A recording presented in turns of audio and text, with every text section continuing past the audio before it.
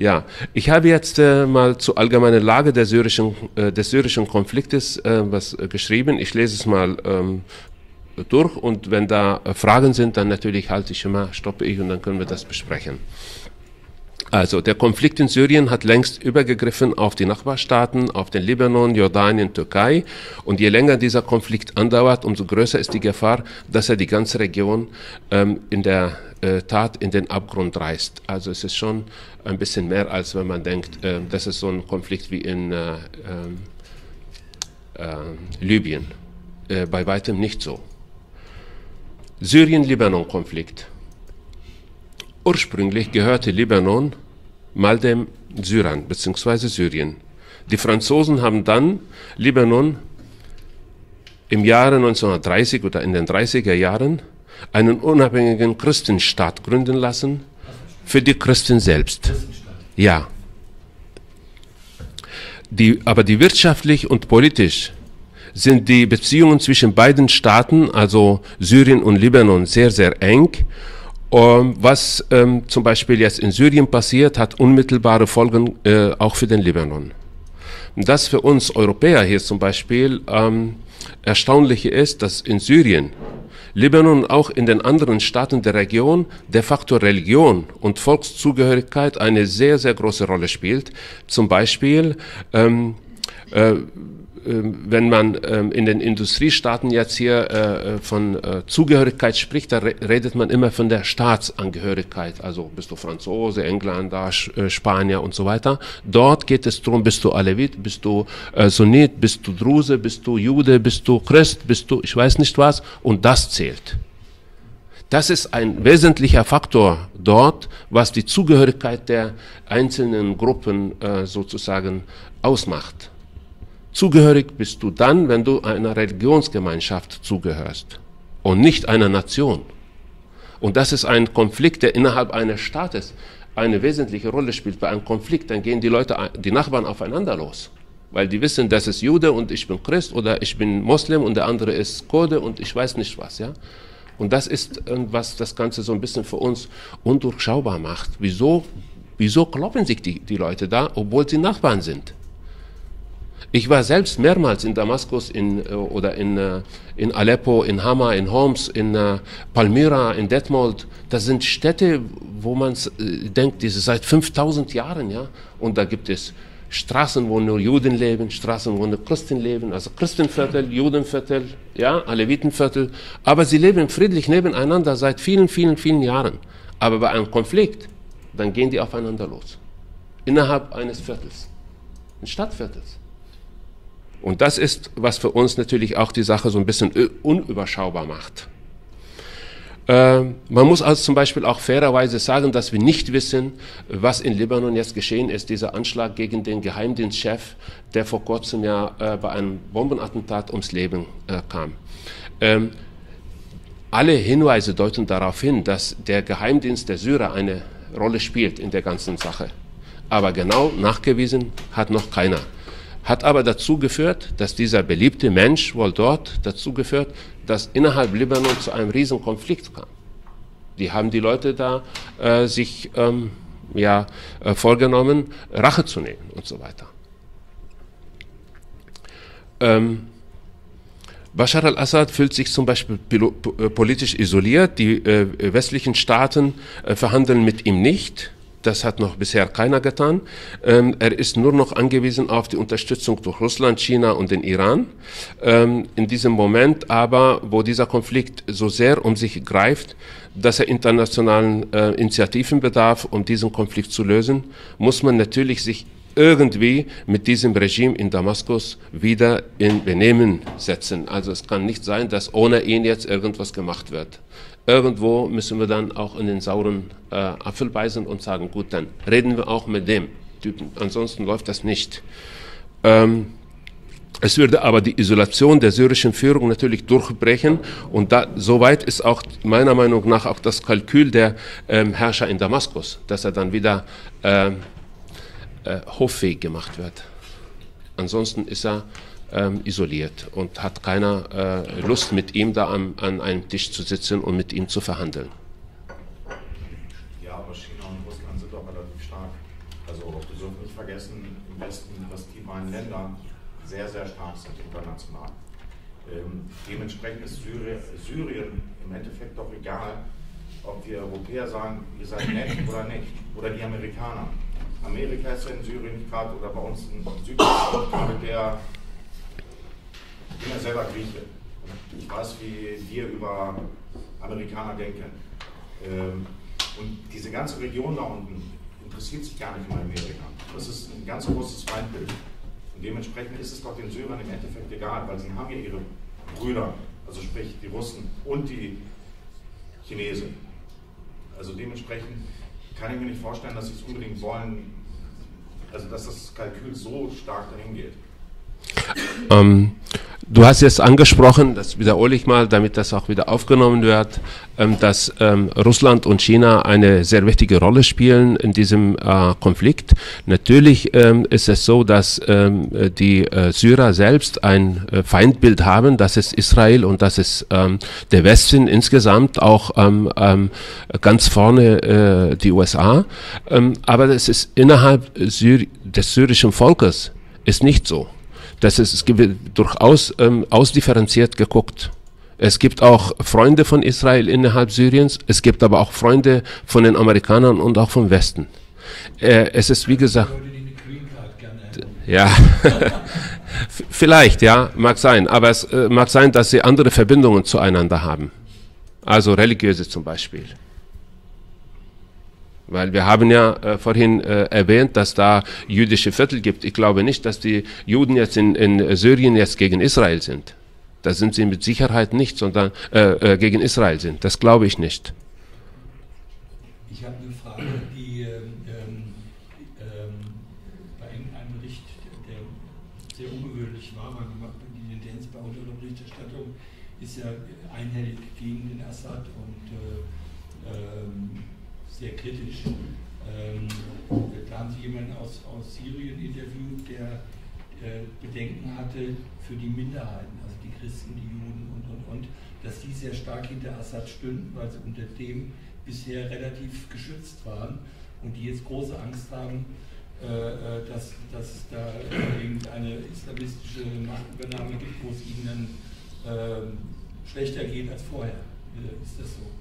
Ich kann das vollkommen so ähm, äh, teilen, dass ähm, äh, viele Minderheiten Angst haben, was dann geschieht, wenn Assad geht.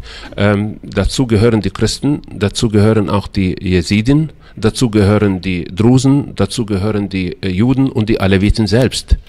Ähm, ich höre in Syrien zum Beispiel wird der Slogan oder mit dem Slogan wird da äh, Politik gemacht. Die Rebellen und ihre Helfer und so weiter gehen auf die Straße und rufen, ähm, die Christen nach Beirut und die Aleviten in den Sarg.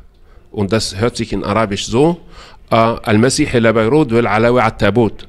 Das also es reimt sich schon ganz toll und heißt das dann auch die das heißt eigentlich wir ver verlangen die Vertreibung der Christen aus Syrien und ähm, die Tötung der Aleviten.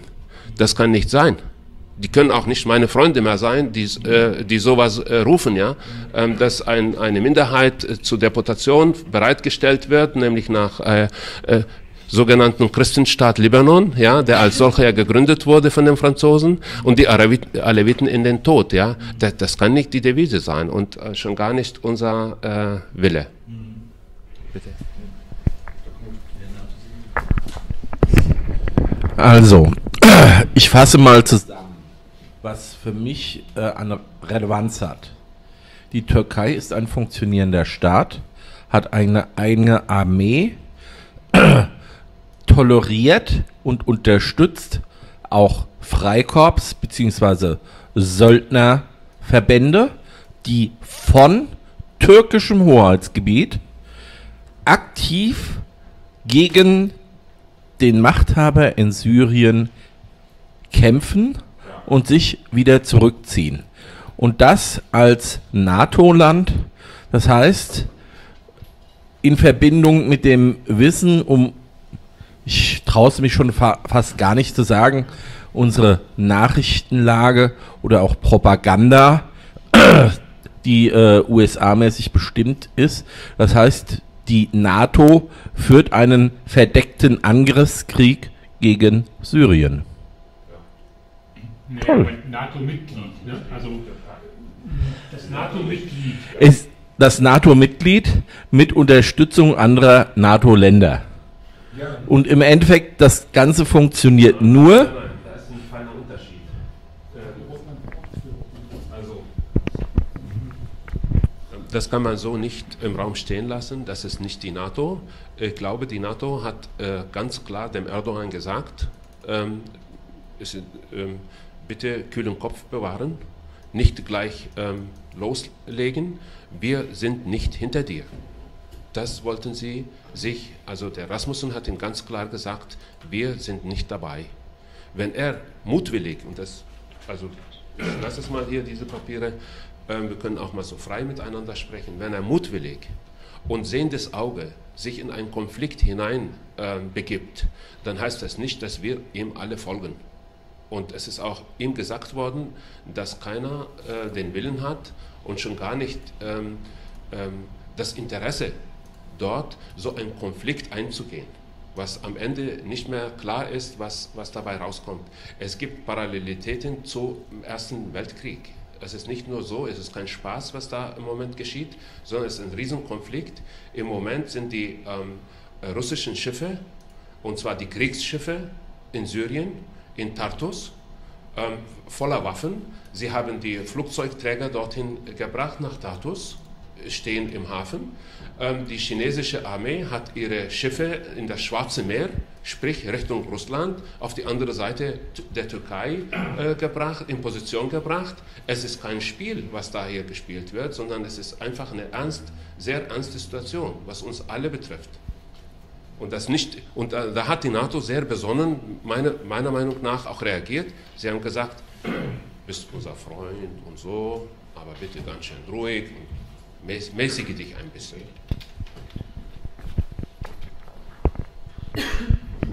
Die Türkei ist bei uns im Südosten Europas dafür bekannt, dass sie schöne Worte hat als Nachbarn, aber auch sehr, sehr viel Stress bringt. Für uns Griechen bedeutet das im Nordosten Griechenlands, dass sie äh, Islamisten unterstützt, also unterstützt finanziell und so weiter. Ja. Das ist bei uns bekannt. Die, die werden gepusht finanziell. Die Bulgaren sind auch nicht gerade gut auf die Türken zu sprechen. Ähm, jeder Nachbar, wenn es wirklich zum Krieg kommen würde mit Syrien, würde die Türkei in keinster Art und Weise unterstützen. Also weder die Griechen, noch die Bulgaren, noch die Russen, noch die Armenier. Natürlich. Ähm, nein, ich, ich, ich, will, ich will darauf hinausgehen. Äh, das Potenzial in diesem südöstlichen Gebiet ist gewaltiger, als man hier eigentlich vor Ort sieht. Äh, mit, der, mit der Wirtschaftskrise, die wir noch an der Backe haben in Griechenland, äh, gibt es eine fanatische Bewegung, Rechte etc. In Bulgarien, denen geht es auch nicht anders. Also die, die würden, viele, die ich kenne, würden eher den Syriern helfen, wenn es da wirklich zum Konflikt kommt. Und dann haben wir wieder den Ersten Weltkrieg an der Backe. Also nicht, dass wir jetzt einen Weltkrieg haben, sondern dann haben wir ein Potenzial da unten, das sehr, sehr unangenehm ist. Das Potenzial ist da. Darf ich noch ergänzen? Ja. Sagen? Die NATO hat aber doch auch schon so gewisse Drohgebärden gemacht, wenn, weil als diese ein, zwei äh, äh Granaten über die Grenze nach, in die Türkei kamen, dass dann natürlich der Verteidigungsfall eintrifft. Das heißt mit anderen Worten, wenn die Syrer sagen, da sitzen äh, äh irgendwelche Söldner, die uns angreifen äh, äh kommen, und, und, kommen aus geschütztem türkischem Gebiet, um bei uns äh, zu operieren, äh, dann greifen wir, die in ihrem, greifen wir die in ihrem geschützten Gebiet an, dann tritt der Verteidigungsfall ein. Das heißt, dann kommt die NATO auf den Plan, dann wird das, wird das auch bewusst provoziert wahrscheinlich um die NATO da mit reinzuziehen. Kann das sein? Die Türken als solches kreisen immer über die anderen Länder mit ihren äh, Luftwaffe mhm. und behaupten, es ist immer ein Versehen gewesen. Das passiert bei uns in Griechenland fünfmal im Jahr. Und ich dann ist unsere Armee wieder mal in Alarmbereitschaft und die anderen auch. Nur haben die jetzt gerade ein anderes Spiel beigefunden, das ist Syrien. Mhm. Das ist so eine Taktik von den Generälen der Türkei. Man darf nicht vergessen, die türkische Generäle sind anders, die sind autarker als jetzt ein General in Deutschland. Die, die haben wesentlich mehr Macht als wir. Ähm, ich, ich, wollte euch, ich wollte euch nur mal kurz was zeigen hier, ähm, wo die zwei äh, Bomben wohl äh, gefallen sind äh, von der syrischen Seite in der Türkei. Akçakale, das dürfte hier sein, hier. Und äh, dieses Dorf ist geteilt durch die Grenze. Das Dorf selbst. Man muss sich vorstellen, wie diese Straße hier ist die Grenze, dieses Teil ist Syrien und andere Teil ist äh, Türkei. Und hier haben sich die Rebellen befunden. Die Syrer haben dazu äh, natürlich die Stellungen bombardiert und daraufhin sind zwei auf die andere Straßenseite gefallen. Das ist alles. Im Grunde haben sie, im Grunde haben sie äh, auch bewusst die Rebellen an diese Grenze dann äh, platziert, ja, so dass so ein Konflikt entsteht. Und deshalb hat die NATO gesagt, ja, Moment mal, also es ist ja, äh, und die haben gesagt, das war ein Versehen, wir entschuldigen uns und so weiter.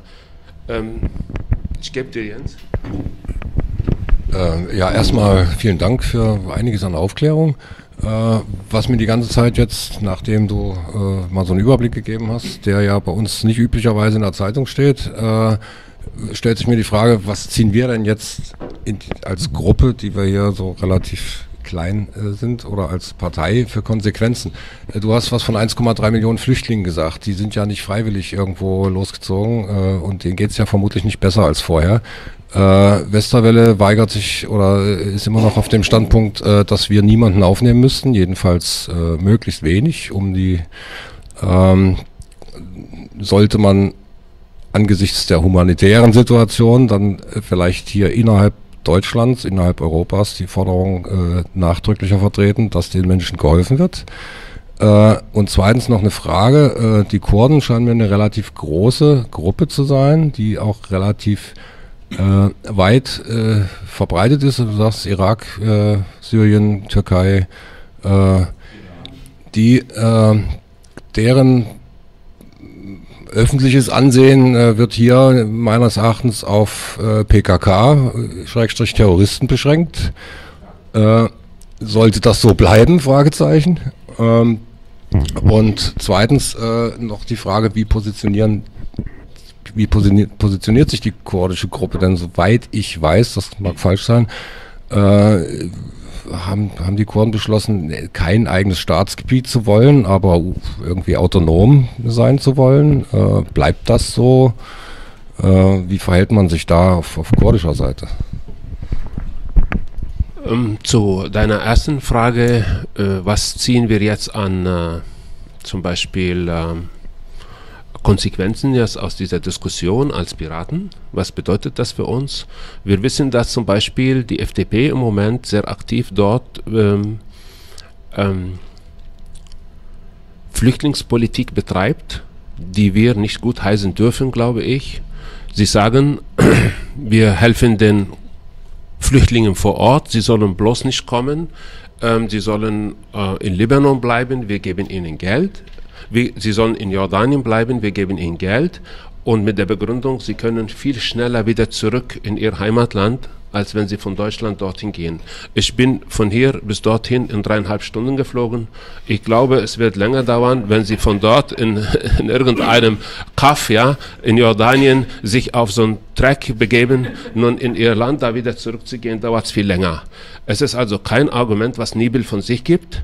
Und ich glaube, wir müssen eine andere äh, äh, Flüchtlingspolitik betreiben, die ehrlich ist, die auch dem äh, sozusagen ähm, adäquat eine Antwort äh, sein kann, ähm, äh, kontern. Es kann nicht sein, dass wir die Flüchtlingspolitik der FDP weiterhin gutheißen oder so einfach sein lassen im Raume, sondern wir müssen eine andere Position beziehen und sagen, wir wollen eine ehrliche, eine ähm, äh, Flüchtlingspolitik, die die Flüchtlinge schützt und nicht Deutschland vor den Flüchtlingen schützt. Also das ist, das ist, glaube ich, die Maxime. Es kann nicht sein, dass wir immer sagen, wir müssen Deutschland vor den Flüchtlingen schützen. Wir haben ähm, andere Nachbarstaaten, die ja viel mehr mit dem, Konflikt, mit dem Konflikt konfrontiert sind, wie zum Beispiel Türkei, über 100.000, 115.000 Flüchtlinge aufgenommen. Wir haben 3.500. Unsere Möglichkeit, ist sicherlich viel mehr als die, die die Türkei hat. Das muss man einfach sagen. Äh, die Begründung, wir haben hier nicht genug Raum, reicht nicht aus, glaube ich, um zu sagen, wir werden sie äh, nicht aufnehmen. Die Bereitschaft muss da sein. Äh, wenn wir sagen zu den Kurden, das ist die zweite Frage, wenn wir sagen, die, die Kurden dort wollen Autonomie, sicherlich in, im ersten Schritt wollen sie eine Autonomie haben. Im zweiten Schritt wollen sie ihr eigenes Land. Sie wollen dort schon seit ihr Bestehen. Und zwar, ähm, ich würde sagen, schon seit dem dritten, vierten Jahrhundert. Äh, und die sind noch viel älter, dieses Volk, als, ähm, ja, man sagt, die kommen von den Medern. Das ist also ähm, eine sehr, sehr alte Geschichte. Die Meder, Meder, ja, die Meder sind die, die Kurden von heute oder die Kurden von heute stammen von den Medern, die ähm, sehr, sehr alte Geschichte vor den Hethitern sogar äh, existiert haben. Die waren, die waren äh, im, mit, dem, mit dem Christentum, wo sich das Christentum entwickelt hat und, und so wurden alle Kurden zum Christentum sozusagen übergegangen, haben sich, sie waren, die Kurden waren Christen. Und das Kalifat von Omar als Kalif nach dem Tode Mohammeds hat ein Feldzug gegen die Kurden äh, Richtung Iran am Ararat jetzt veranstaltet und sie gezwungen, dem Islam äh, überzuwechseln. Und viele haben dann gesagt, wenn schon, dann bitte nicht das, dieser Islam, was ihr wollt, Sunniten und so weiter, sondern wenn schon, dann machen wir die Aleviten. Also da sind sie dann äh, gezwungenermaßen dann zu dem Islam übergetreten. Ich weiß nicht, wer zuerst, das sind viele Wortmeldungen, sehe ich gerade. Ich gehe der Reihe nach so. Auch wenn es vielleicht vielen jetzt äh, sehr weit hergeholt erscheint, aber wir haben doch allgemein äh, eine Sicht auf die Weltpolitik, wo einige Staaten, insbesondere dort einige Interessensgruppen, Leute au ausbeuten und andere unterdrücken egal in welchem Staat. Und es sind gleichzeitig auch Staaten dabei, die man eigentlich komplett abschreiben möchte. Ich sage jetzt einfach mal beispielsweise die Aufstände in London, wo gewisse asozialen Viertel Randale gemacht haben. Und das Problem in Syrien, sage ich mal, ist unter anderem auch folgendes, dass der Assad-Clan doch im Prinzip sehr gut gelebt hat auf Kosten der eigenen Bevölkerung. Und die Unzufriedenheit liegt doch in erster Linie, wenn ich das richtig beurteile, so von außen daran, dass das allgemeine Lebensumfeld geringer ist, als es eigentlich sein könnte. Sehe ich das richtig?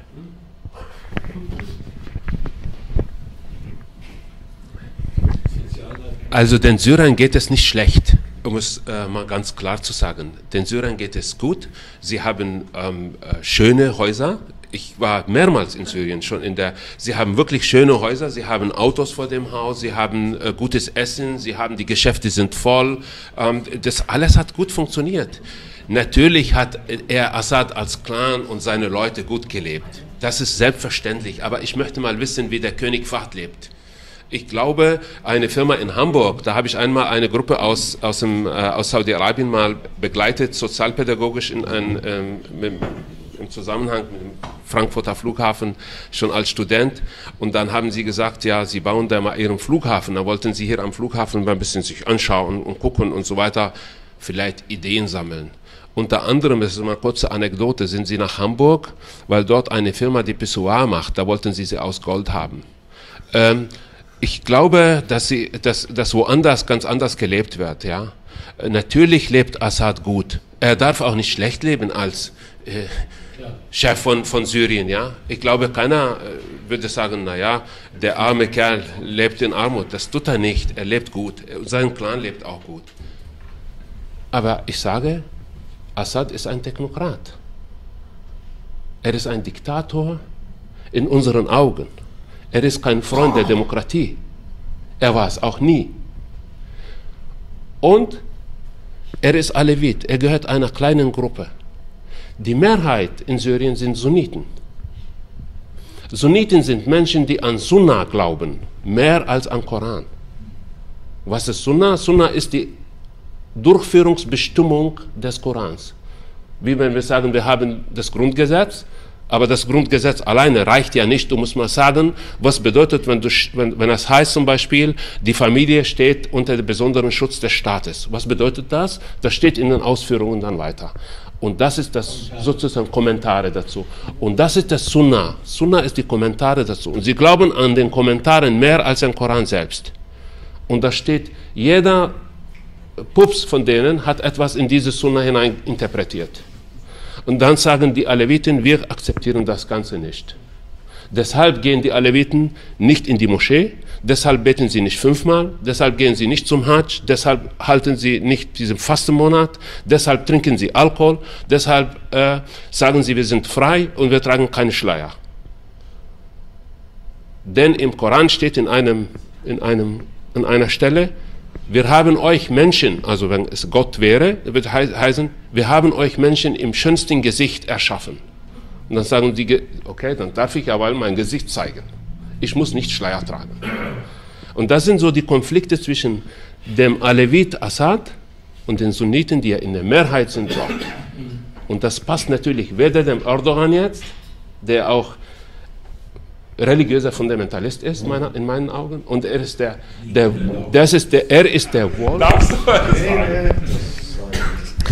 Ähm, mich würde jetzt Folgendes interessieren, und zwar, ähm, wir haben ja hier in Deutschland ein ganz bestimmtes Bild äh, über die Medien vermittelt letztendlich. Also wir haben ja am Anfang es, es hat sich ja jetzt auch schon eine ganze Zeit äh, entwickelt im Prinzip. Also am Anfang waren dann äh, die Proteste in, in Ägypten auf dem Tahrirplatz und wir hatten dann, also jetzt noch vor dem, vor dem Syrien-Konflikt und dann war die ganze Eskalation in, in Libyen und äh, wenn, wenn ich jetzt so überlege, was, was habe ich aus den Medien jetzt, jetzt mitbekommen, ist dann, dass das dann eben auf andere Länder übergegriffen hat, dann eben auch auf Syrien, so habe ich das jetzt so halbwegs im Kopf, dass es dann Proteste gegeben hat, dass die gewaltsam von Assad niedergeschlagen worden sind, äh, äh, und dass sich dann eben auch Rebellengruppen gebildet haben letztendlich. Und ich wüsste jetzt einfach gerne von dir, wie du das denn als Syrier erlebt hast, diesen, diesen Prozess, den wir so, oder den ich zumindest so jetzt von den Medien habe vermittelt äh, bekommen.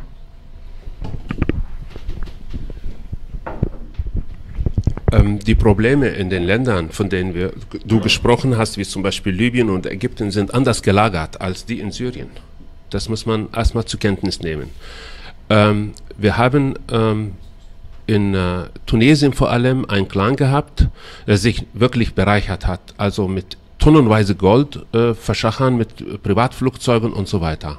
Wir haben auf der anderen Seite den, äh, den Al-Gaddafi. Gaddafi ist ja ähm, wirklich nicht zu vergleichen auch mit, äh, mit Assad. Er hat eine, eine ganz anderes Kaliber ist er, ja.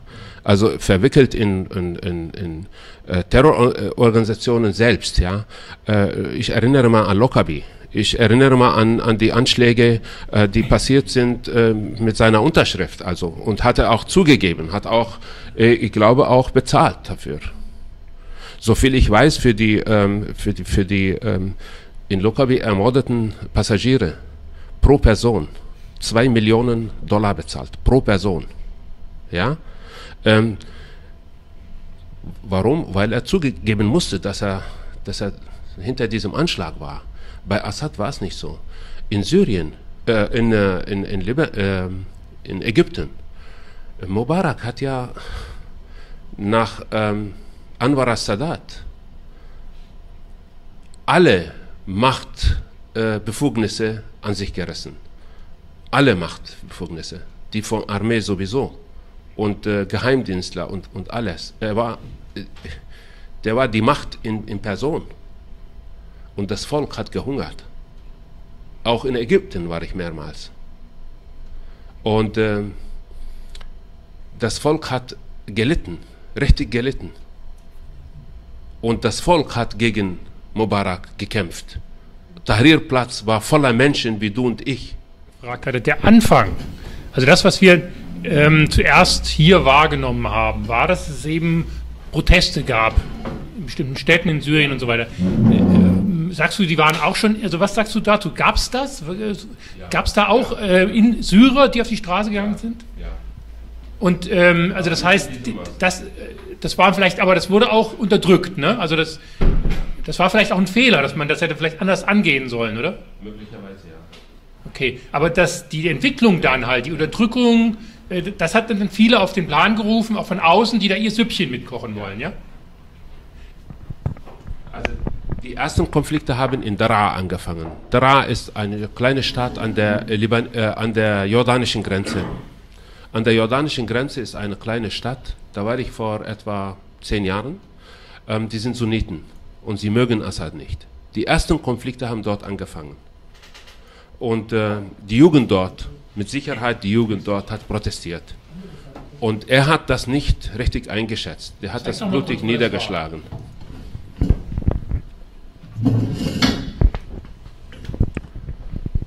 So. Das ist noch Palmyra, das noch, noch unten drunter. Ist Jordan? Hier ist Idlib und Dara dürfte hier sein. Hier, hier, das war schon. Hier, Dara. Ja, in diesem Dorf. Hier hat der Konflikt angefangen. Das allererste Mal, die ersten Demonstrationen haben hier angefangen, in Dara. Und von hier aus, das, das ist eine kleine Stadt, fast alle Sunniten.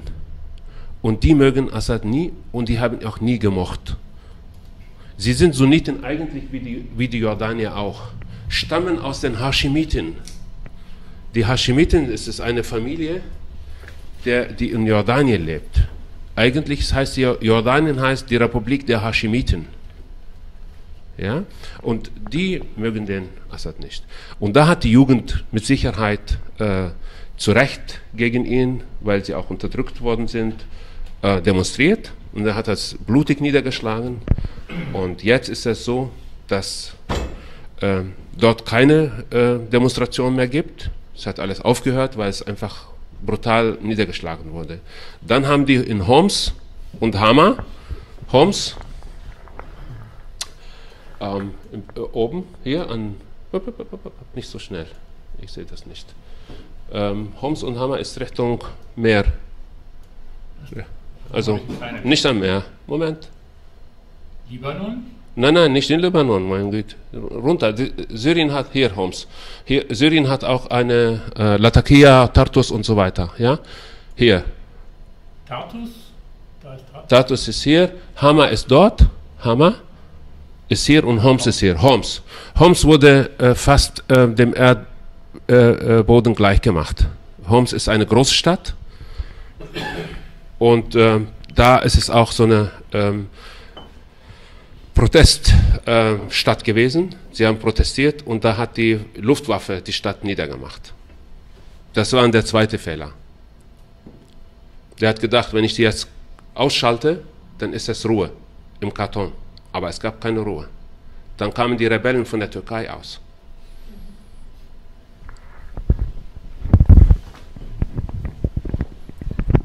Also vielleicht gerade noch mal zu dem Punkt. Ähm, das habe ich ja eben schon mal gesagt. Ähm, ich kann mir schon vorstellen, dass in bestimmten Städten das eben nicht nur ausländische Rebellen sind, sondern dass dort, wo eine stark äh, sunnitische Mehrheit ist und wenn die solche Erfahrungen einfach gemacht haben, dass das wirklich dann auch die Syrer sind, die da überwiegend die Rebellen stellen. Ne? Das heißt, da muss man vielleicht nach den äh, Städten differenzieren. Aber ich wollte jetzt nochmal auf das zurückkommen, was der Jens gesagt hat, ne? die Überlegung, was können wir denn machen? Und vielleicht haben ein paar von euch die äh, E-Mail gelesen. Ich habe mal vor ein paar Wochen, du hast sie auf jeden Fall gelesen, du bist einer der wenigen, äh, die mir geantwortet haben. Es haben nämlich sehr, sehr wenige geantwortet und ähm, du bist auch der Einzige gewesen, der positiv geantwortet hat. Die anderen haben alle negativ, durchweg negativ geantwortet. Ich habe das auf der PPH und auf der außenpolitischen und auf der Bildungs-Mailingliste ähm, rübergeschickt und ähm, habe das äh, versucht, noch mit einem anderen Argument äh, zu verknüpfen. Also meine Idee war, dass wir, ähm, du hast ja eben schon das Flüchtlingsproblem angesprochen, dass wir als Deutschland vielleicht überlegen, ähm, sehr, sehr junge Menschen dort aufzunehmen. Und zwar nicht nur als Flüchtlinge, sondern zu sagen, okay, wir wissen ja heute nicht, wie lange der Konflikt andauert. Ähm, zu sagen, wir nehmen diese jungen Menschen auf und ähm, vielleicht gehen die dann halt auch wieder zurück, weil es sich aufgelöst hat und es ihre Heimat ist und sie zurück wollen. Und wir nehmen sie für einen längeren Zeitraum auf und geben denen hier die Möglichkeit, eine Ausbildung zu machen bei uns und sagen das auch gleich direkt, dass sie die Möglichkeit haben, hier ihre Ausbildung fertig zu machen. Und ich hatte das damals äh, in der Mail damit begründet, dass wir in ein paar Jahren werden wir extreme Probleme haben, gerade auf dem Ausbildungssektor, weil in, Deutsch, in Deutschland ist es halt so und zu Recht und ich finde das super, dass die Jahrgänge, die studieren, werden halt immer größer. Also der Anteil an, Studi an Studierenden an den Jahrgängen wächst kontinuierlich. Wir haben jetzt fast 50 Prozent und damit sind wir eigentlich noch zu niedrig und die Jahrgänge werden halt auch immer, immer kleiner in Deutschland und ähm, irgendwann ähm, in den 60ern, wenn man sich die Babyboomer aus den 60ern und aus den 50ern anschaut, das sind halt alles Leute, da haben halt ganz viele Leute eine Ausbildung gemacht. Das heißt, irgendwann werden wir in Deutschland die Situation haben, dass ganz, ganz viele Auszubildende ähm, ähm, vom Arbeitsmarkt weggehen. Und ich mir sicher bin, dass ab 2022 ähm, viel zu wenig Auszubildende danach rücken werden.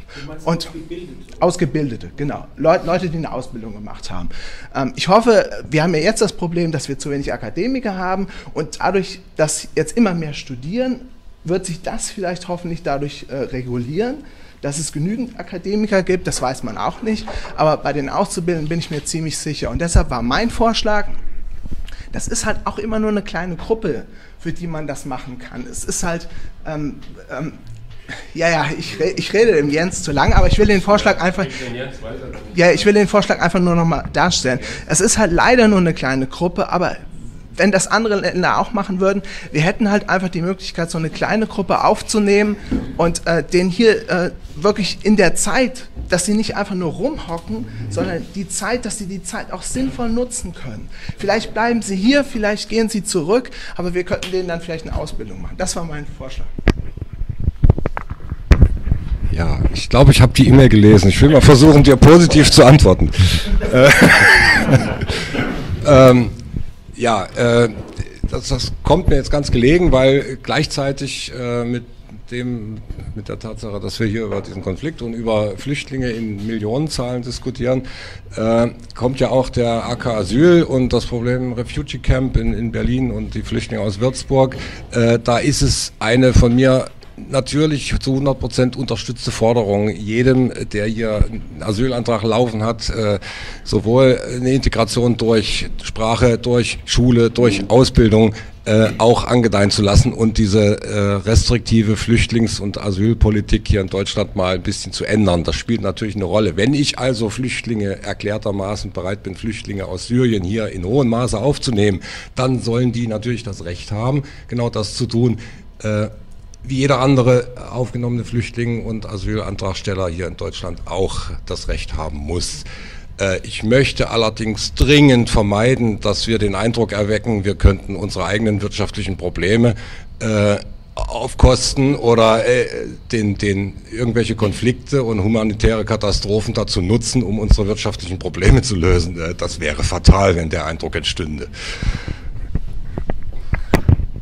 Ich gebe weiter.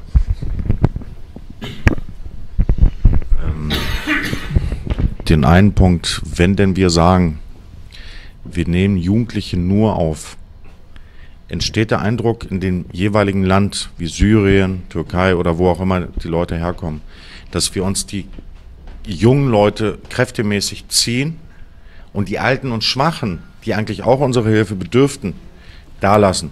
Das erinnert mich an die äh, Gastarbeitergeschichte 60er Jahre. Das erinnert mich an ähm, Diskussionen oder wie früher die Türkei die Leute, die jungen Leute gekrallt hat und sie zu Armeen gemacht hat. Also gerade nur junge Leute aus diesem Gebiet, also mit der Geschicht, geschichtlichen Hintergrund, was da unten passiert ist mit dem Osmanischen Reich, äh, wo du und ich wahrscheinlich äh, Bescheid wissen, was die gemacht haben, gerade mit jungen Leuten. Da reagiere ich ganz allergisch als früherer besetztes Land, gerade von denen. Wenn, man, wenn wir sagen, wir nehmen nur die, ganz schlecht, äh, wenn denn Familienverband, der, die Familienverbunde sind da unten stärker als hier. Das heißt, komplette Familien hier irgendwie versuchen zu integrieren. Nur die Leute einzeln zu picken, wird schwierig. Das zum einen und zum anderen, äh, wie siehst du denn äh, die Konfliktbereitschaft zwischen Türkei und Griech äh, Griechenland, äh, Türkei und Syrien? Äh, Türkei und Syrien, wird es da zum Krieg kommen oder eher nicht? Ich antworte kurz drauf und dann gebe ich dir Michael. Ich glaube nicht, dass es zu einem richtigen Krieg, richtig mit allen Mitteln jetzt mal ausgestattet zum Krieg äh, kommen kann zwischen Türkei und äh, Syrien. Türkei wäre ganz alleine und die wäre äh, zwischen den Fronten ähm, Syrien, Libanon, Iran, Russland und wahrscheinlich Armenien. Hm, Man weiß nicht, was die Russen da so alles mit sich nehmen und mit wem sie alles mal äh, sozusagen mal sprechen. Ja. Hm. Ich glaube, da wird für die Russen, für Putin da die Religion keine Rolle spielen, sondern nur Macht und, äh, und so weiter. Ich glaube nicht, dass es zu einem richtigen Krieg kommt. Ich weiß, dass, äh, ich habe es selbst gesehen, äh, gar keine Frage, äh, unheimlich viele Panzer sind ähm, an der Grenze zu Syrien. Ähm, hunderte, hunderte Panzer, fast nagelneu, alles wahrscheinlich nirgendwo gefahren also richtig von der, ja, geladen auf, auf große LKWs, diese Schlepper, und, und da ziehen sie dann durch die Straßen, eine nach dem anderen. Also es ist unheimlich viel, was da im Moment in Stellung gegangen ist. Ähm, die F-16-Flugzeuge immer zu zweit und zwar äh, ständig über dem Haus, äh, so die ganze Zeit in äh, Alarmbereitschaft, immer über der Grenze. Also es ist schon Angst und Drohgebärden, aber kein richtiger Krieg. Ich glaube es nicht. Michael und dann. Ja, ich fand das sehr interessant, dass du das äh, persönliche Verhältnis zwischen Erdogan und Assad erwähnt hast, das offensichtlich da eine Rolle spielt. Ähm, die Frage, die ich habe, schließt auch so ein bisschen an das an, was Christus gesagt hat. Ähm, betreibt die Türkei jetzt äh, Grenzsicherung oder gibt es eventuell weitergehende Interessen? Wie ist deine Einschätzung dazu? Also weitergehende Interessen der Türkei. Eine äh, sehr gute Frage. Ich hätte gerne mal die Karte ein bisschen deutlicher, dann werde ich euch mal ein bisschen äh, meine Sicht der Dinge mal erklären, was ich äh, glaube zu wissen, welche Interessen die Türkei jetzt verfolgt bzw. vermeidet. Ja, das reicht so gut. Wir haben hier von Erbil, Mosul, von da aus hier Kirkuk, ja, Süleymania. Das sind die Hochburgen der Kurden. Absolut in kurdischer Hand. Und sie haben ihre Autonomie hier. Niemand kann dort irgendetwas machen, ohne mit den Kurden zu sprechen. Hier, dieses Gebiet ist kurdisch. Dieses Gebiet hier um Nusaybin und Kamishli hier, ja, an dieser Stelle, so dass sie Syrien, dieses Gebiet bis dahin etwa sind dann Kurden. Also dieser schmale hier Teil. Das alles Kurden. So, das heißt, die Kurden hätten daher einen Riesenbereich. Die Kurden in der Türkei sind im, insgesamt, gesamte Osten im Grunde bis nach äh, so Diyarbakir und so weiter. Also das ganze Gebiet hier ist Kurden. Hier ist Diyarbakir, das ist die Hauptstadt der, des kurdischen Staates in Spee. Ja, so, so würde ich mal bezeichnen. Ähm, Türkei hat natürlich jetzt Angst, zu Recht, wenn sie jetzt ihre staatliche Integrität haben wollen, dann müssen sie es mit, alle, mit allen Mitteln es vermeiden, dass hier kein Zusammenbruch ähm, des türkischen Staates an dieser Grenze hier stattfindet. Die DTP, das ist die kurdische Partei im türkischen Parlament, der Vorsitzende hat erklärt, im türkischen Parlament, vor allen Leuten, vor Erdogan und für sein gesamtes Kabinett, dass die türkische Armee inzwischen 400 Kilometer, das ist die Grenze, dass es hier keine Macht mehr der Türken besteht. So, das macht natürlich in Ankara einen riesen Angst, das macht Fieber. Und sie kriegen natürlich auch immer wieder Fieberschübe und sagen, was passiert, wenn dort ein, ein kurdischer Staat entsteht. Und mit allen Mitteln wollen sie ver vermeiden, dass dieses Teil hier nicht in die Hände der Kurden im, äh, im Irak und der PKK fällt. Die, die PKK ist ein, eine Organisation der Kurden, aber nicht alle Kurden sind in der PKK. Das ist auch eine Antwort auf deine Frage, die ja zuvor gestellt wurde. 16 Millionen Kurden gibt es. Manche sprechen von 20 Millionen. Äh, äh, die PKK hat keine 20 Millionen starke Armee. Na, bitteschön, ja. Das ist also nicht der Fall.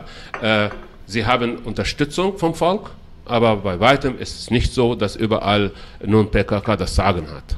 Meine Idee war auch, Aufklärung ja, zu betreiben. Ja, hier, ja. Es ist also, das war richtig, was du gesagt hast, dass hier mal den Eindruck ähm, äh, wecken lässt, ähm, überall gäbe es, wenn man Kurden spricht, äh, PKK. Das ist natürlich nicht so.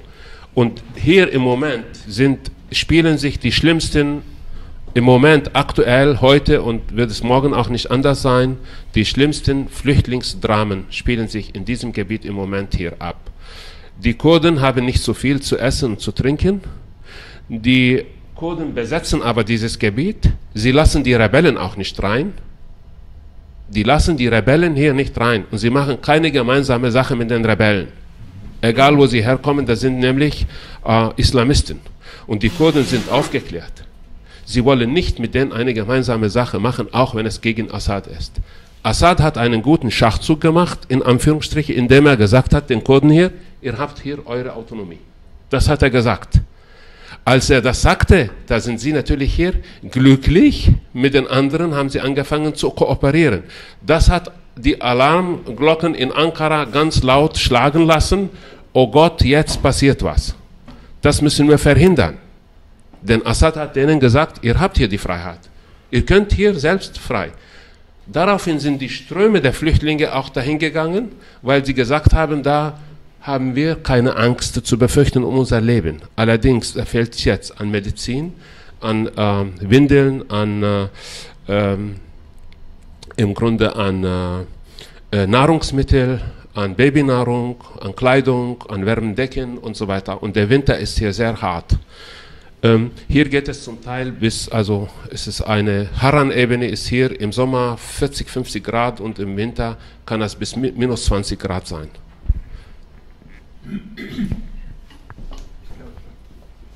Willst du direkt dazu? Ja. Äh, meine, meine Überlegung äh, auch war, äh, wenn man denn 20 Millionen oder 16 bis 20 Millionen Kurden nicht mehr äh, in der öffentlichen Wahrnehmung hier bei uns äh, mit PKK-Terroristen gleichsetzen würde und das so ist, wie du sagst, äh, könnte man nicht auf die Idee kommen, dass den Kurden in diesem Konflikt irgendwann mal eine Vermittlerrolle zukommen könnte? Wem? Die, diese Vermittlerrolle haben sie jetzt schon durch die Amerikaner bekommen. Die haben den Amerikanern sehr viel geholfen, als ähm, Saddam äh, Hussein gestürzt wurde. Und die größte Hilfe, die sie bekommen haben, kam nicht von den Sunniten, kam nicht von den Türken, die Türken haben, nachdem die Amerikaner angefangen haben, in Iskenderun ihre Waffen an Land zu ziehen, haben sie einen Beschluss gefasst in Ankara, dass die Amerikaner von dort kein Wegrechte bekommen. Die Amerikaner müssten nochmal alles wieder aufladen auf die Schiffe und dann sind sie über den Suezkanal nochmal zurück bis, bis zum Arabischen Meer. Die haben große Probleme gehabt, weil die Türken haben dann gesagt, nein, wir helfen nicht.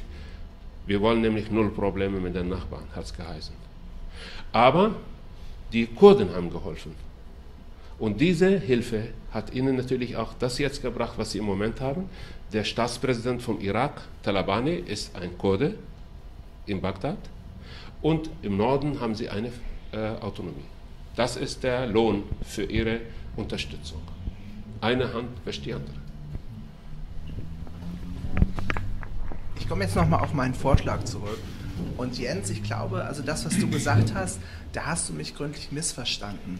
Ich nehme nicht im Ernst an, dass wir irgendein Problem haben oder einen Konflikt ausnutzen müssen, um unsere wirtschaftlichen, personellen Probleme zu lösen. Ich nehme auch nicht an, dass du das Okay, sehr, sehr gut, sehr, sehr gut. Weil ich glaube, es gibt weltweit genügend Menschen, die erstens äh, offen sind oder, oder ähm, die vielleicht einen eher westlichen Lebensstil äh, leben wollen oder die sogar einen Lebensstil haben, äh, der dort in ihren Ländern nicht akzeptiert wird und äh, die verfolgt werden und die oder die einfach nur Interesse haben, anders zu leben und die herkommen wollen. Es gibt genügend Menschen, wahrscheinlich in Rumänien, Bulgarien, die auch hierher kommen würden, hier eine Ausbildung machen würden.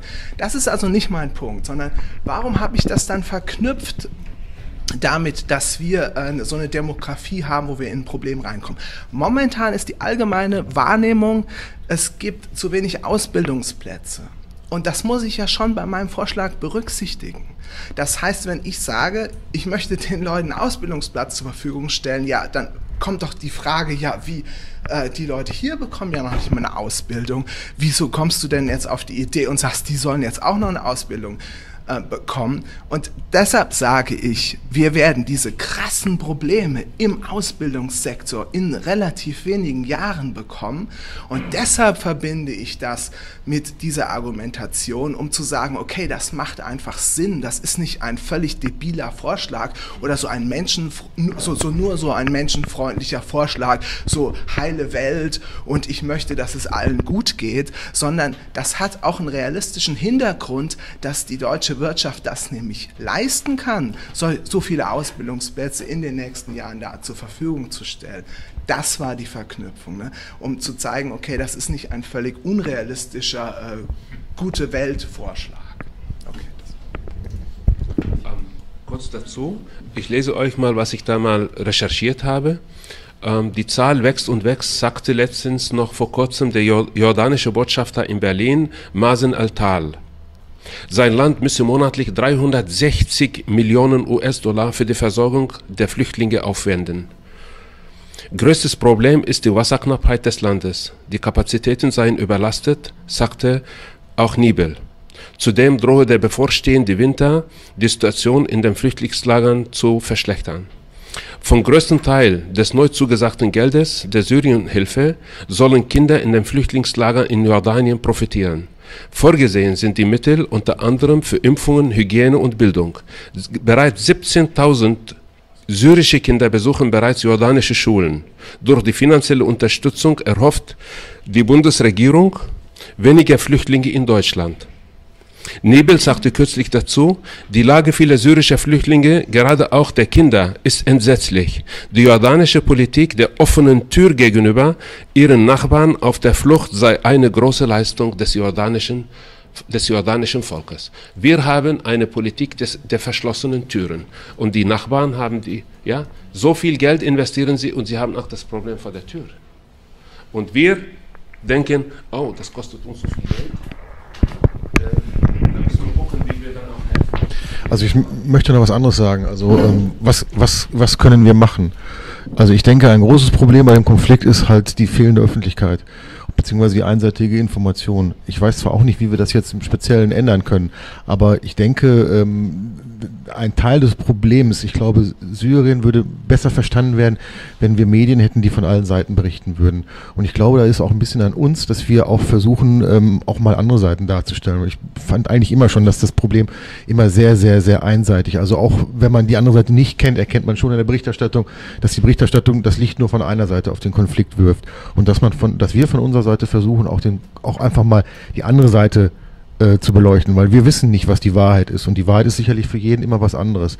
Aber dass die Wahrheit äh, von vielen Seiten viele Facetten hat, ich glaube, das sollte man darstellen. Das ist das, was die Medien im Moment überhaupt, überhaupt nicht machen. Da schließt sich direkt meine vielleicht etwas naive Frage an, warum ist das so? Warum, ich meine, es gibt ja mit Sicherheit genug Leute, wie jetzt zum Beispiel dich, der in der, der sich in der Region auskennt, der wahrscheinlich auch irgendwie äh, sich, sich als Deutscher versteht, der wirklich Ahnung hat, warum, warum wird da keine Plattform geboten? Warum wird wirklich so krass einseitig berichtet? Also ich äh, habe einfach oft Schwierigkeiten, das zu verstehen und vielleicht kannst du das auch nochmal irgendwie aus deiner Perspektive beleuchten. Warum, was du da für, eine, für einen Grund für siehst, oder?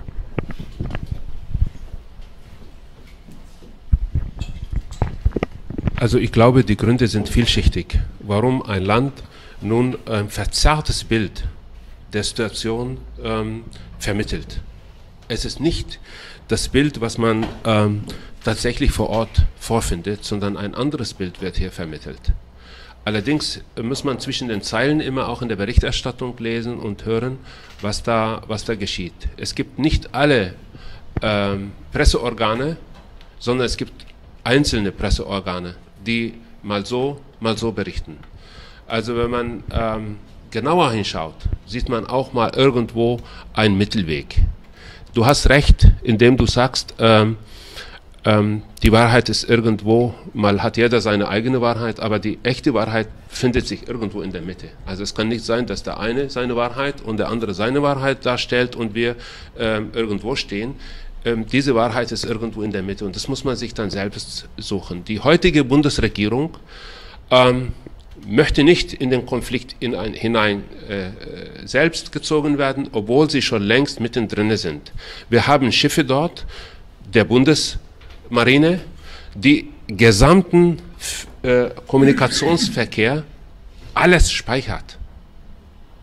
Das ist bundesrepublikanische Marine, ist nicht irgendwas, steht da vor der syrischen Küste und speichert alles, was sich bewegt. Und wir wissen auch nicht, wem diese Informationen weitergegeben werden. Und wer was damit macht. Das wird nicht berichtet. Das ist nämlich nicht moralisch. Und das ist, kommt auch nicht gut an hier, in dieser aufgeklärten Republik. Da wird das Volk hier sagen, was macht ihr da? Was haben wir damit zu tun? Wieso seid ihr dann dort? Da müssen sie sich Fragen gefallen lassen, die sie auch nicht richtig beantworten können und wollen. Deshalb ist die Wahrheit zwischen all dem irgendwo. Ich weiß auch nicht, wo die Wahrheit ist. Ich habe, weil ich dort gelebt und aufgewachsen bin bis zum 18. Lebensjahr und immer wieder dorthin gegangen bin und mich natürlich sehr interessiere für, dies, für diese Region, ein anderes Bild. Aber es ist auch nicht die Wahrheit. Ich gebe zu. Ja? Jeder hat seine eigene Wahrheit, Leute. Und wir Piraten müssen auch aber auch eine Wahrheit haben, sagen, wir kämpfen für etwas. Zum Beispiel wäre für mich, wenn aus dieser Diskussion mit den Gedanken gehen, wir müssen den Flüchtlingen irgendwie helfen. Wenn wir das bei rauskommt, dann bin ich glücklich. Gehen wir weiter. Ähm, also ich sehe noch einen anderen Aspekt in dieser Sache. Und zwar ist für mich ähm, der Punkt, du hast ähm, ganz am Anfang oder auch zwischen, also erstmal es war für mich sehr interessant. Ich finde es sehr gut, äh, mal andere Position zu hören, weil ich wirklich auch fest überzeugt bin, dass wir nur in der Presse eine sehr einseitige Darstellung bekommen. Das hängt auch damit zusammen, äh, dass Journalisten auch was verkaufen wollen und bestimmte Sachen lassen sich gut verkaufen, andere weniger gut.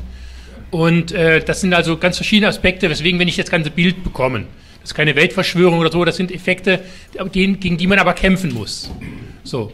Ähm, jetzt äh, klar, man kann sagen, Wahrheit, jeder hat seine Wahrheit und so weiter. Aber es gibt auch Fakten.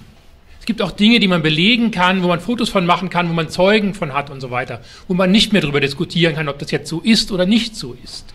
Und einige von den Dingen, die du gesagt hast, da hätte ich gerne, die, die würde ich gerne äh, belegt haben. Also jetzt nicht als Zweifel für dich, sondern in einer Art und Weise sagen können, seht her, da gibt es Dinge, die stehen nicht in der Zeitung, aber die Piraten berichten darüber. Also das heißt, äh, diese Dinge, wenn man, wenn man sie belegen kann, wenn man diese Informationen sammeln kann und wenn man sie dann auch noch über die Piraten veröffentlichen könnte. Ja, mein Gott, machen wir eine Bundespressemitteilung oder irgendwas, wo wir sagen, hier, die und die Fakten sind uns zu Ohren gekommen. Das wäre auch eine Möglichkeit.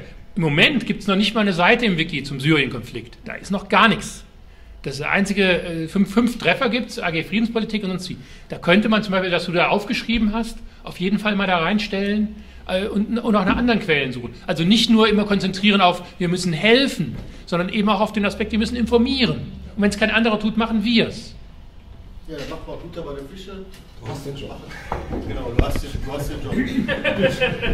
Es, wird ja, es wird ja eh eine Pressemitteilung. Es wird ja eh eine Pressemitteilung. Es wird ja eh eine Pressemitteilung hierzu geben. Warum machen wir nicht ein Pad auf und schreiben einfach mal einen Text zusammen? Ich bin zum Beispiel nicht deiner Meinung, dass man das alles mit Fakten belegen muss, weil es ist nämlich zum Teil, es ist zum, zum Teil extrem schwer, das mit Fakten zu belegen. Und warum auch nicht die Mittel der anderen Seite benutzen? Die benutzen auch keine, nicht nur, nicht nur Fakten. Da, warum schreiben wir das nicht alles mal in einem Pad so zusammen und wir schreiben drüber, das ist äh, was diskutiert wurde und dann kann man mal sehen, ob das jemand aufnimmt. Du hast den Job. Wir können das doch als PM über die Hessen äh, Beispiel. Ich möchte ich möchte es mal mit einem anderen Politikfeld vergleichen, wo man denkt, okay, ähm, da müsste man mit Fakten arbeiten können. Ich glaube nicht, dass es überhaupt möglich ist, das hast du sehr schön gesagt, ne? die Wahrheit wirklich irgendwie bei einem zu finden oder, oder irgendwie, wo, wo kommt man an die Wahrheit, weil es da viele Wahrheiten gibt. Ne? Und ich glaube, man muss bei jeder Wahrheit kritisch bleiben und sehen, das ist nur eine Sicht. Es gibt viele Interessen, es gibt ganz unterschiedliche Erfahrungen. Das ist halt ein Land, was vielschichtig ist, wo, wo viele, ähm, viel mit reinwirkt. Und deshalb vergleiche ich das mal mit der Energiewende. Das könnte doch was sein, wo man Messungen macht, wo man Zahlen hat, wo man wissenschaftliche Sachen hat. Und wenn man sich damit aber beschäftigt, sieht man, dass in der Energiewende selbst wissenschaftliche Arbeiten sehr manipulativ sein können. Da wird immer nur für eine Seite was gemacht. Da, da, gibt, es, da gibt es einfach so starke Interessen, dass man an diese Fakten, die, man muss immer, immer, immer kritisch bleiben bei so einem Thema. Und das ist, glaube ich, der entscheidende und einzige Tipp. Was immer man hört, immer kritisch bleiben, immer fragen, warum sagt der das? Was ist da sein Interesse daran? Und das ist bei der Energiewende genauso. Man kriegt bei der Energiewende fast keine verlässlichen, zuverlässigen Zahlen. Selbst in wissenschaftlichen Arbeiten sieht man, woher die ihre Forschungsgelder zum Beispiel bekommen. In die Richtung schreiben sie einfach. Also mein Tipp, ganz wichtig, das Signal muss sein, kritisch bleiben, kritisch denken.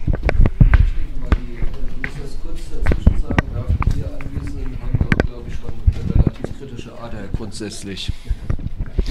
Ähm, ja, darf ich noch was anschließen? Also es war jetzt mehr so ein ähm, Einwurf. Äh, was mich äh, verwundert hat, ist, dass ein Land noch nicht erwähnt wurde in dem Zusammenhang, das ist Israel. Da würde mich interessieren, ähm, wie da sich die Rolle gestaltet. Also Israel ist mit Sicherheit auch ein Land mit Interesse in diesem Konflikt. Also wenn du dazu noch was sagen könntest, wäre das ganz toll.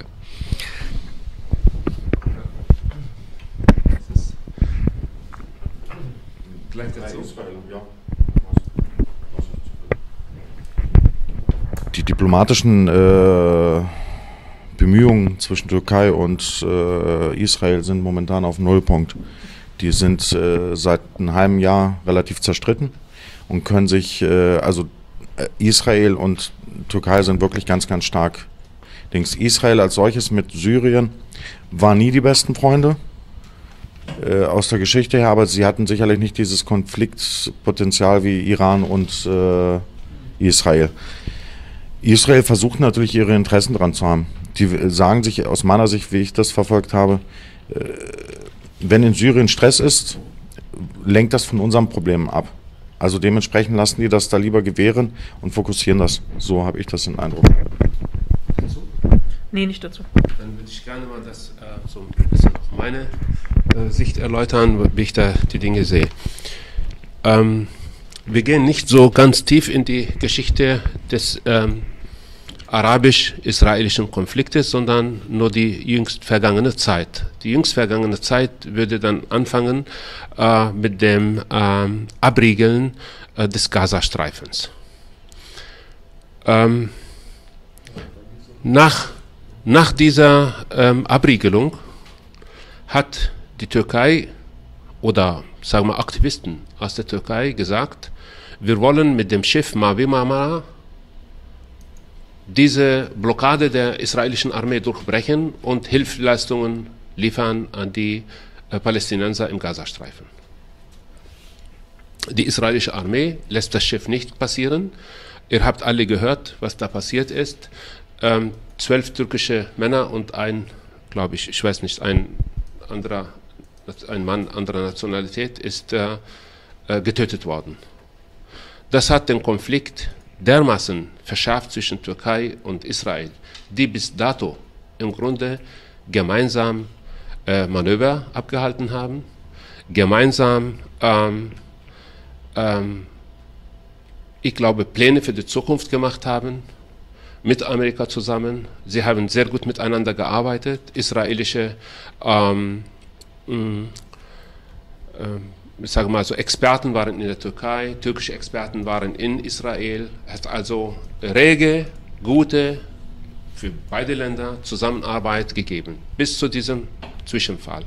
Und dieser Zwischenfall hat auch so vorher schon einen Ärger gegeben nach dem Konflikt in Gazastreifen und Israel, hat wohl ähm, Recep Tayyip Erdogan bei der UN-Vollversammlung äh, in einem Treffen oder in einem, äh, glaube ich, Podiumsdiskussion dem äh, Ministerpräsidenten Shimon Peres damals gesagt, ähm, in, einem, äh, in einem Gespräch, hat ihm da vorgeworfen, es gab ein Eklat, der hat gesagt, ich weiß, ihr könnt gut töten. Das könnt ihr als Israelis. Äh, mitten äh, in so einer Diskussion hat seine Papiere hingeschmissen als Ministerpräsident eines Landes dort, der eigentlich sagt, äh, wir haben die Führung dort, das, das passt eigentlich nicht, hat die Papiere hingeschmissen, hat den äh, Moderator da auch ein bisschen angemacht und ist ähm, rausgegangen. Und Israel hat sich äh, natürlich da nicht gefallen lassen, dass sie als Mörder bezeichnet werden von einem Nachbarn, mit dem sie eigentlich keine Konflikte hatten bis dahin, aber es hat er gemacht und dachte, mit diesem Schachzug kann er die äh, Aufmerksamkeit der islamischen Welt auf sich lenken. Und das hat er auch getan. Er wurde wie ein König in, Israel, in, äh, in, in Ägypten. Er wurde wie ein König in anderen arabischen Ländern empfangen, weil er das gesagt hat. Kurz danach war diese Geschichte mit dem Mavi Marmara und das hat die Sache dann nochmal zum Platzen gebracht. Ähm, die Türkei erwartet immer noch eine Entschuldigung. Danach haben sie noch eine Sache mit den Türken gemacht. Die Israelis haben den, den Botschafter bestellt, der Außenminister äh, und ich glaube der Verteidigungsminister. Da waren zwei Minister, haben Pressekonferenz einberufen und den türkischen Botschafter einbestellt. Und da saßen sie auf einem hohen Podest die Israelis, und haben den türkischen Botschafter etwa so hingesetzt, hinsetzen lassen, so etwa unten. Und er war so klein und ja, also ziemlich ähm, ja unten so. Und äh, das war so eine Vorführung sozusagen eines Landes, die eigentlich auch nicht sein dürfte und sollte unter den äh, Demokraten darf sowas nicht geben. Aber das haben sie gemacht, das hat die Türken noch einmal zum Kochen gebracht. So, die, die Situation zwischen den beiden Ländern ist sehr zerstritten, dass sie jetzt, glaube ich nicht, eine gemeinsame Sache gegen Israel zu machen, äh, gegen äh, Syrien zu machen. Das glaube ich nicht. Was ich glaube, dass Israel ihre Interessen dort sehr genau beobachtet und auch verfolgt. Und sie werden nicht die Butter vom Brot nehmen lassen, von niemandem. Und ich glaube, da haben sie nicht nur ein Auge drauf, sondern mehrere Augen drauf geworfen, wo ihre Interessen sind, wo eine Beeinträchtigung stattfindet und da werden sie eingreifen. Sie sind für, zu, zu allem bereit, um ihre Interessen dort wahrzunehmen und auch zu festigen. Bitte? Sie wollen auch keinen zweiten Imam dort Nein, sie wollen mit Sicherheit keinen. Wir müssten leider langsam zum Bitte? Ende kommen. Zum Ende, ja. Okay. Okay. Dann machen wir kurz jetzt. Okay, ich wollte noch mal ganz kurz wieder zu meinem Vorschlag kommen und dir kurz antworten.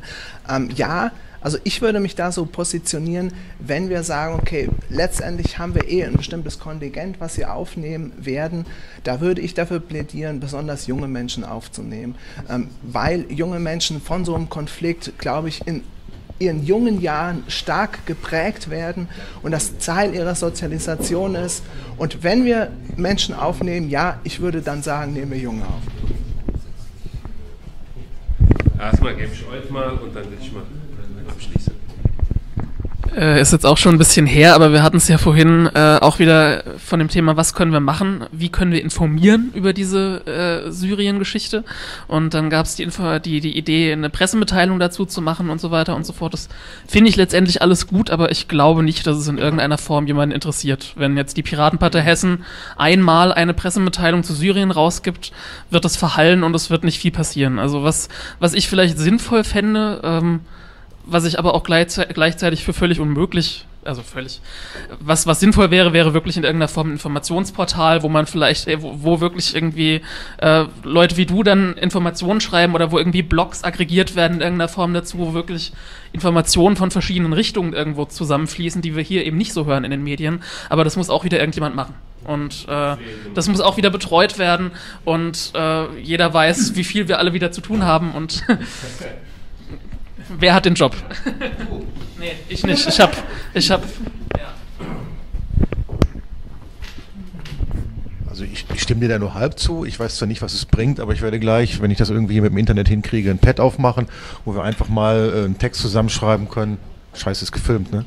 ist schon fertig. Es ist gefilmt. Äh, man kann es verlinken, man kann es Nein, nein, ich meine jetzt nicht, den, nicht das Video. Ich dachte eigentlich, dass wir das in Form eines Textes, weil ich glaube nicht, dass sich viele Leute eine Stunde an, anhören würden. Ähm, ich werde, ich werde ein, Pad auf, werde ein Pad aufmachen, dass wir dann vielleicht einen Text zusammenschreiben, dass wir einfach mal gucken. Ich meine, was daraus wird ich meine, wir sind Piraten. Wir machen viele Dinge, die wir wahrscheinlich im Endeffekt nicht mehr wirklich genießen können. Wir machen sie trotzdem, weil wir finden, dass es wichtig ist, dass es gemacht wird. Und ich glaube, nach dem gleichen Punkt sollten wir das hier auch aufmachen. Wenn wir es aufschreiben und es keiner liest, ja Gott, dann haben wir 16 Leute, die im Raum gesessen haben, ihre Arbeit umsonst investiert. Und wenn es einer liest, dann haben wir schon mal was, hat, hat schon was gebracht. Deswegen. Ich schon ein Pad über Konflikte mit Syrien. Ich weiß jetzt nicht, welcher hier, wo ich das gelesen habe. Da gab es schon einen Nahostkonflikt und die jeweiligen Länder zueinander. Das war nicht schlecht, aber ich Willst du was? Ganz kurz nur. Ja, bitte. Ich finde es auch gut. Also ich wollte auch nicht sagen, dass es jetzt bloß nicht gemacht werden soll. Das, das ist überhaupt nicht. Also wenn, wenn sich da Leute finden, die das schreiben, finde ich, finde ich super gut. Soll auch unbedingt geschrieben werden. Äh, ich fände es nur schade, wenn das jetzt, ähm, äh, wenn jetzt quasi in dieser Pressemitteilung, diese gesamte kreative Energie, die jetzt hier in diesem Workshop äh, geschehen ist, sich nur in dieser Pressemitteilung in irgendeiner Form ergibt. Es wäre doch am einfachsten, man macht es parallel, sprich eine PM und ja. dieses, dieses Pad und dass man miteinander arbeitet. Das heißt, äh, mit dem Pad daraus resultiert äh, eine PM, meinetwegen. Wenn das äh, so gern gesehen wird. Weitere Wortmeldungen? Keine. Ja, ah, bitte. Also die Seite Syrien-Konflikt gibt es jetzt im Wiki. Ähm, ein paar äh, Links habe ich auch schon eingetragen. Würdet ihr mir bitte dann eure ähm, Pads zuschicken, dass ich sie da verlinken kann? Und wenn du deinen Artikel mir dann vielleicht auch zukommen lässt, dann trage ich, trage ich den auch ein und lade den da hoch. Ja? Das ist jetzt alles nicht so viel Arbeit. Ja.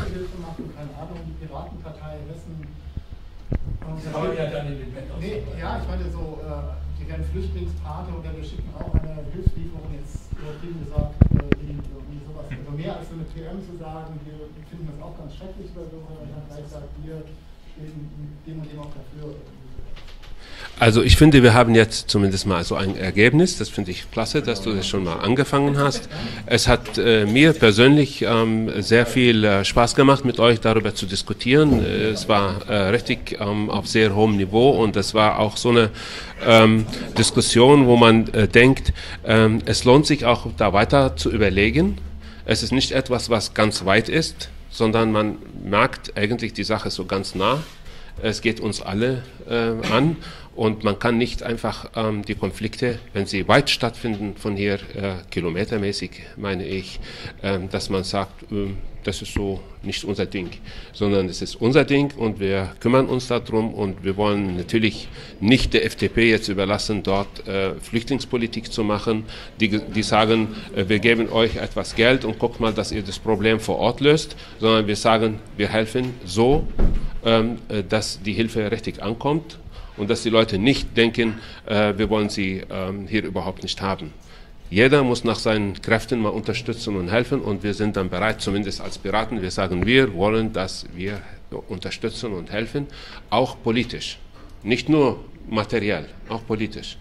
Und diese politische Hilfe kommt meistens auch nicht so gut an bei den, äh, äh, bei den Flüchtlingen, wenn es hieß, ähm, von Nibel, der war ja da. Und äh, Leuthäuser Schnarrenberger war vorgestern da in Gaziantep, war sie in Kilis. Sie hat dort ein, äh, ein Camp besucht, unsere Justizministerin.